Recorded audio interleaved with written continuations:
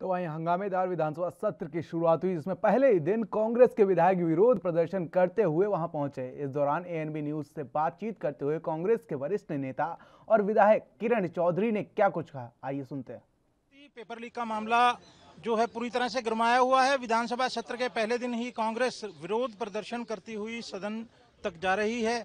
ये मसला इस समय हमारे साथ मौजूद हैं कांग्रेस की वरिष्ठ नेता किरण चौधरी उनसे जानेंगे कि आखिर कांग्रेस ये प्रदर्शन किस लिए कर रही है और सदन में क्या रवैया रहेगा। मैम, ये बताएँ कि आपके प्रदर्शन की जो है, क्या वजह है?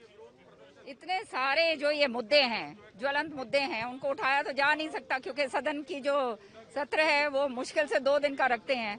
अब आप देखिए, बेरोजगारी का मसला है, पानी का मसला है, किसानों का मसला है भ्रष्टाचार का मसला है, ये जो है, पेपर लीक का मसला है। हर तरीके से जो है ये सरकार हर तरीके से विफल हो चुकी है। और कल जो है मैंने डिमांड करा था कि सीबीआई इंक्वायरी जो है इसके ऊपर करी जाए।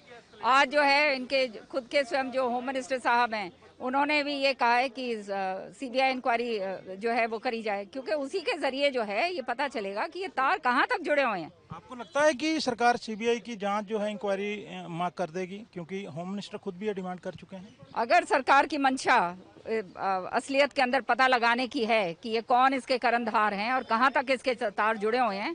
तो सरकार को तुरंत जो है कर देना चाहिए और नहीं करी तो इसका मतलब तो स्पष्ट है, ये पर्चा और खर्चे वाली बात है।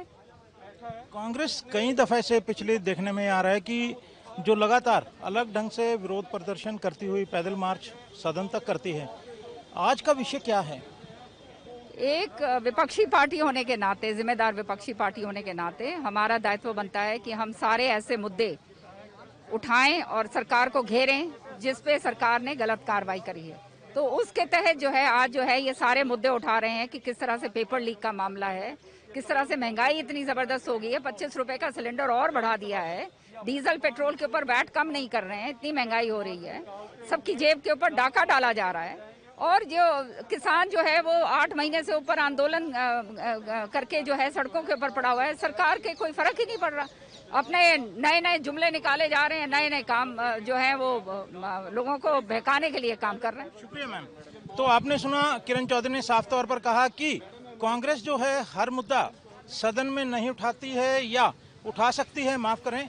या समय नहीं मिलेगा तो उन्होंने फैसला लिया कांग्रेस ने कि सड़क पर भी ये मुद्दे जो हैं जनहित के उठाए जाएँगे। आज कांग्रेस पेपर लीक के मुद्दे पर और बेरोजगारी के मुद्दे पर प्रदर्शन करती हुई विधानसभा परिसर तक जा रही है। एनबी न्यूज़ के लिए चंडीगढ़ से कैमरामैन मनदीप सिंह के साथ राकेश